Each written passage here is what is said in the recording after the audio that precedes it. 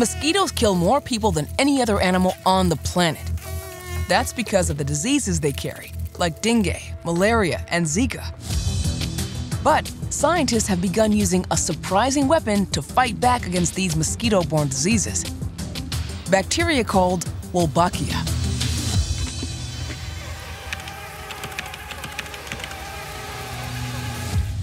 Wolbachia is a common type of bacteria, harmless to humans, that lives in more than half of the world's insects. It comes in many different strains and is only passed on from females to their offspring. Wolbachia has been called the selfish bacteria because it has lots of tricks to help it spread.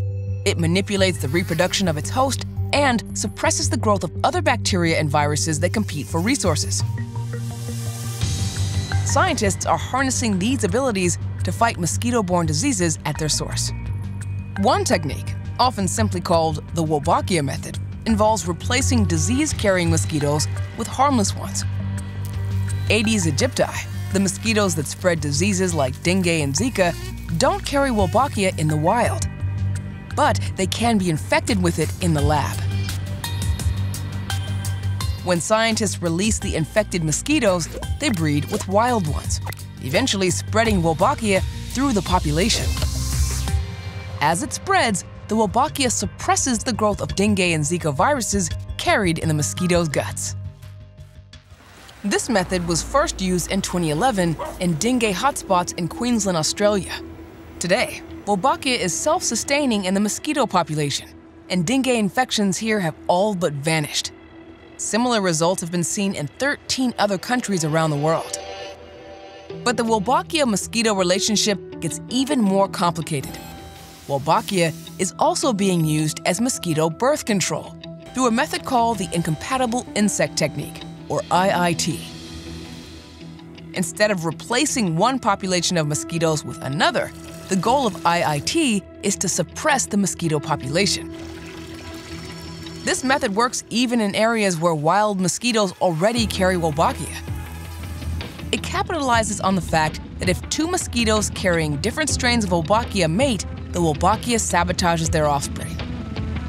The bacteria do this by modifying the male mosquito's sperm.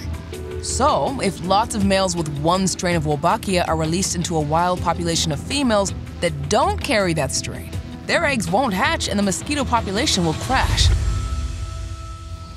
IIT has been successfully trialed in places like Australia, Singapore, and China to reduce the number of disease-carrying mosquitoes. Now, it's being used in Hawaii to get rid of invasive mosquitoes on Maui and Kauai. But this time, it's not humans who stand to benefit. It's a group of endangered birds called Hawaiian honeycreepers.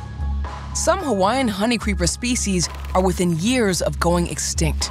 Their biggest killer is avian malaria, transmitted by southern house mosquitoes introduced to the islands in the 1800s. Avian malaria kills our honey creepers very quickly, often within a matter of weeks.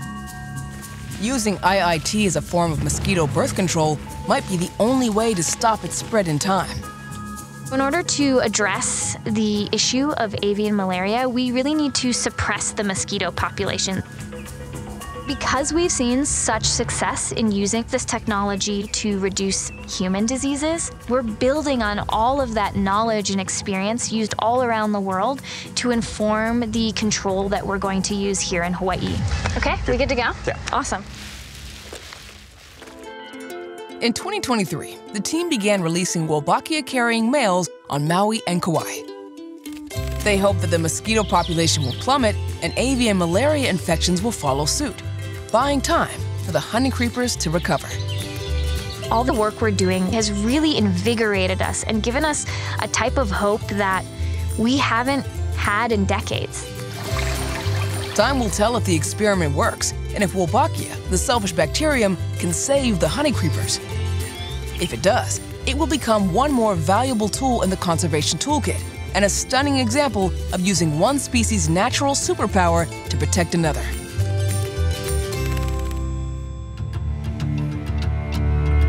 Explore these stories and many more from Wild Hope by visiting wildhope.tv or watch the full collection now right here on PBS Nature on YouTube.